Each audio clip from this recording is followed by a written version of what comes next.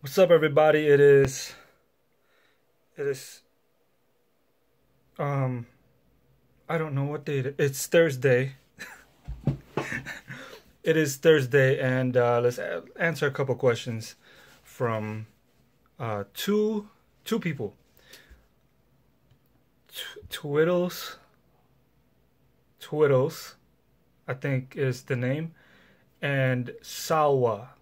I think also is the other name. Um, and their question is, what what is the difference? I think that well, the basic question is, what is the difference between the KJV Bible and the NIV Bible, or basically, which Bible should we be reading? Um, now, I'm not a I'm not against the NIV. Uh, actually, yeah, I, mm, I don't know. I, I'm I'm not wholeheartedly against the NIV or any other Bible, but but I am. I don't know if that makes sense, but okay, so true Bible students would know that the KJV is the only Bible that we should be reading and studying from. The KJV alongside the Strong's Concordance. Um, we're going to take a look at the differences, the, differences between the KJV and the NIV and ESV and American Standard and all those Geneva Bible or whatever, because there's a lot of there's there's a lot there is a lot of differences between the KJV and the rest. So we're gonna take a little bit of a look of the history of the KJV and the other Bibles. Um, so right now I'm gonna explain a couple things there are two streams of the Bible. One stream that the KJV co- comes from, and the other stream where the rest of the Bible comes from. People say there's three streams: one stream where the KJV comes from, another stream where the rest of the Bible comes comes from, and then another stream I think where the Catholic Catholic Bible comes from or whatever. But the Catholic Bible and the rest of the Bible are the same from the same stream there's the KJV Bible, and then there's the rest of the Bible alongside the Catholic Bible, where they all come from the same source. And then there's the KJV Bible. So, Catholic Bible, KJV Bible, pretty much. That should tell you something. So, we're gonna look into that. We're gonna look into that. But right now, I'm gonna go. I'm gonna go to work. It's super super early and I'm not driving for Uber and Lyft today. I'm going to be uh, demoing. I'm pretty much going to be destroying a house.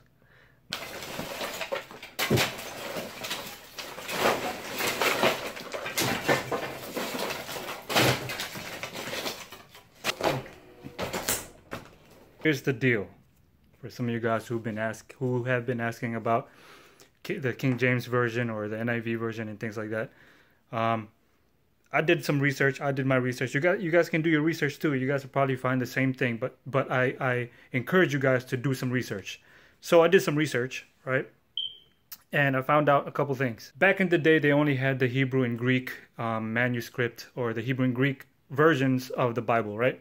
The, the the manuscripts or whatever. So what they did was they copied those Hebrew and Greek versions. They copied it, took about I don't know like a year, maybe ten months to to copy um, those things. And when they found that they made a mistake uh, from those copies, when they found that they made a mistake when they were copying those uh, Hebrew and Greek texts, they would burn it.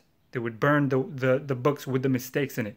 So they had a very careful way of copying those books and copying the, the manuscripts. So it was, uh, I think it was a time of great persecution. I think it was uh, uh, the Dark Ages or something like that, or, or a time where Christians were being persecuted. So they had to copy the Bible underground and they were spread out in different areas of the world, um, in India, Germany, and you know, in, in other different parts of the world. World, and they they started co- they copied these books in different languages, right? Um, mainly, I think the main one was German with uh, uh, what's his name with uh, Luther, and then there's Tyndale and uh, some other guy. I forgot his name. I I'm bad with names, as, as you guys know. Um, so these people were copying the Bible and they were copying copies and copies and copies of the original Bible, but they were good copies. I think it was back in 15 the 1500s when they started. They wanted to make an English version. They got this uh, manuscripts. It's called the received text. Manuscripts were received from different parts of the world in different languages, but there was no contradiction. There was no, no no mistakes in it. The only thing that were that were different were names of people and names of the city because in different languages, you know, the names are different. You know, like Peter, Pedro, uh, John, Jan, or Jan in some in some uh, countries, and so the KJV was copied from those texts. Now, meanwhile, there was a group of people, group of cults, and they were called the Alexandrians. In fact, you can see the Alexandrians in the Bible in Acts six and verse nine, I think when Peter was having an argument with the Alexandrians, and the Alexandrians said, "Hey, look, I, I know, I know, I know more than you, or whatever." So you guys can read that in Acts six. So these group of people, the Alexandrians, they also made their own version of the Bible, but the only thing is they left out quite a few verses. Sometimes they would even leave out like chapters of the Bible. They would twist ver- verses of the Bible, and they took out the deity of Jesus Christ. They took out the deity of Jesus Christ. So there were two streams the received text and the Alexandrian. The received text was the real version, the Alexandrian came from the Alexandrian cults. There were two versions that were rewritten from the Alexandrian. That's why there's two, two other streams of the Alexandrian, which is the wrong manuscript. So from the Alexandrian, you get the American Standard, the NIV, the Latin Vulgate, um, the ESV, the New World Translation. So you got all these other versions, which were good translations of the wrong manuscript. And then you got the KJV, which was translated from the original manuscript. The Textus Receptus, I, I think what they called it, the received text, which was the good, the real, the original, true version of the Bible. So again, you got the KJV, which came from the real stream of the Bible, and you got the rest NIV, Standard Version, ESV, New American Translation, New World Version, or whatever it's called, from the wrong manuscript, which takes out the deity of Christ. If you look in the NIV, you will not find the deity of Christ. We'll talk more in a little bit. I got to finish all this. I got to finish all this work here. Still got work to be done. Can you tell us the importance of the KJV Bible alongside the Strong's Concordance in three minutes?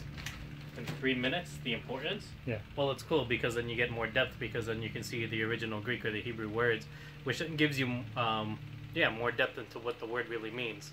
And so it's kind of like when you hear slang in hip hop and they say, yo, I'm going to my pad, it actually means house but at the same time, there's a difference between pad and crib, right? You're going to use it in different scenarios, and so, right, you're not you're not going to say I lay in my crib, mm-hmm. but I say I lay in my pad, mm-hmm. and then so having the Greek or having the concordance with you helps you differentiate between you know, you might see love right in mm-hmm. the Bible, but then there's several different you know Greek words for love, so that's why it's important to see okay you know they can only do so much translating to English. Um, that's why you got to go back and look at those original Hebrew slang and Greek slang to get more depth and more meaning because it actually becomes pretty poetic. These guys were really dope writers and dope storytellers, and so that's why I enjoy it.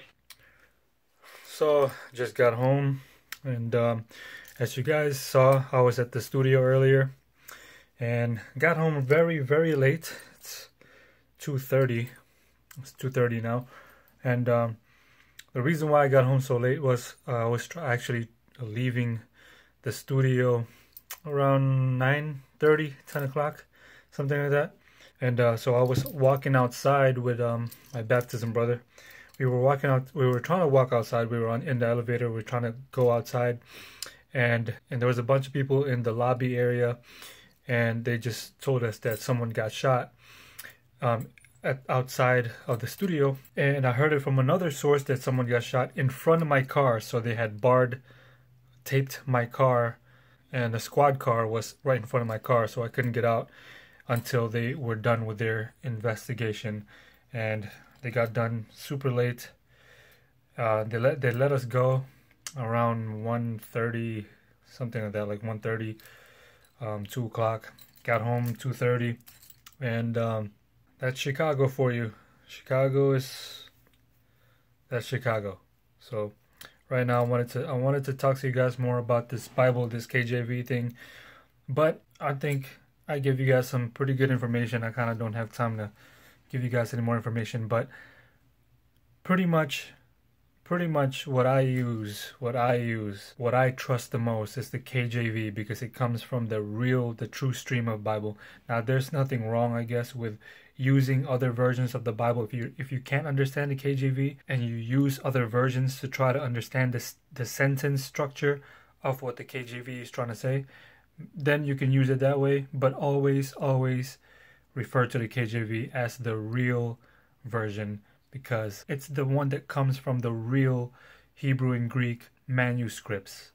And if you guys want more information on that, I will link you guys to two videos from Walt, Walter Veith. The first video is going to be the it's called Battle of the Bibles. It's going to tell you all about the history of the Bible, where these other versions come from. It's a very very deep study. It's about an hour and an hour and a half, I think. And in the second video, same guy he's going to give you a list of some of the differences between the Bibles. The list of verses that are twisted in the NIV and the ESV and the American Standard. A list of even chapters that are missing in the NIV and the ESV or whatever. And verses that are missing in the NIV and the ESV, American Standard, all the other Bibles or whatever. So I'm going to link that in the description box below. Sorry I can't explain more to you guys. I wanted to, but I'm super, super tired. I just got home. Again, it's un- unfortunate that um, someone had gotten shot in front of my car. He didn't die though. He he didn't die. So, but they're still we're doing an investigation. So, pray for Chicago. Pray for Chicago because we definitely need prayer here in this city. Murder murder capital of the United States right now, I think. So, pray for Chicago. Um, I'm out. Go to, I'm gonna go. I'm gonna go to sleep. I don't think I can even go to work tomorrow because I'll probably wake up late. So I'll see you guys tomorrow. Praise God always. And again, if you guys are blessed by this, if you guys are blessed by it, you guys know the deal, man. I'm not gonna, I'm not gonna do this right now. Thank you guys. Praise God always. See you guys tomorrow.